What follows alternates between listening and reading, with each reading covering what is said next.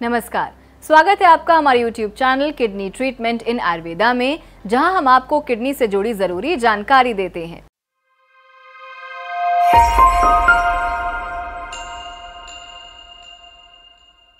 अक्सर लोग यही सोचते हैं कि क्या बार बार यूरिन आना किडनी स्टोन का संकेत है? तो आपको बता दें कि बार बार यूरिन आना किडनी स्टोन का संकेत नहीं होता, ये डायबिटीज़ का संकेत होता है। जब ब्लड में शुगर का स्तर बढ़ता है तो बार बार यूरिन रिलीज़ होता है। वहीं अगर किसी को किडनी में स्टोन की समस्या होती है तो उन्हें यूरिन रुक रुक कर आता है। तो ऐसा कहना पूरी तरह सही नहीं कि किडनी स्टोन के कारण आपको बार बार यूरिन हो। उम्मीद है आपको जानकारी समझ आई होगी। तो आज के लिए बस इतना ही। अगर आपको किडनी में कोई भी समस्या है तो इसको अनदेखा न करें और अगर आप अपनी किडनी के लिए इलाज लेना चाहते हैं तो आयुर्वेदिक इलाज सबसे सुरक्षित है। आयुर्वेदिक इलाज में आपकी किडनी को कोई नुकसान नहीं होता। आयुर्वेदिक इलाज पूरी तरह प्राकृतिक है, जो अपना काम पूरा प्राकृतिक तरीके से करता है।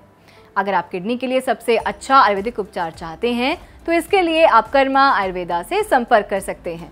कर्मा आयुर्वेदा आपको पूरी तरह प्राकृतिक इलाज देता है, जिसका आपके शरीर पर कोई बुरा प्रभाव नहीं होता और आप डायलिसिस और किडनी ट्रांसप्लांट की तकलीफों से दूर रहते हैं। अगर आप किडनी से जुड़ी किसी भी परेशानी में हैं और अच्छा और बेहतर उपाय चाहते हैं तो आप कर्मा आयुर्वेदा से संपर्क कर सकते हैं। अब मैं आपसे विदा लेती हूँ और मैं फिर आऊँगी एक नए विषय के साथ। तब तक के लिए नमस्कार।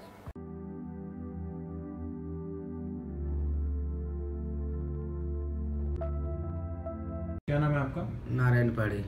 जब आए थे क्या दिक्कत हो रही थी? दिक्कत ये थी थोड़ा सा वही सांस लेने में थोड़ा तकलीफ़ होता था और थोड़ा यूरिन में भी थोड़ा प्रॉब्लम आ रहा था स्लोली हो रहा था अब भी थोड़ा चेंजेस हुआ है। और यूरिन में भी चेंजेस हुआ है और, बाकी सांस लेने में भी अच्छा फ़िज़िकल फिट हो गया हूँ। और अभी बस कोई तकलीफ़ है ही नहीं फ़िज़िकल फिट हो गया।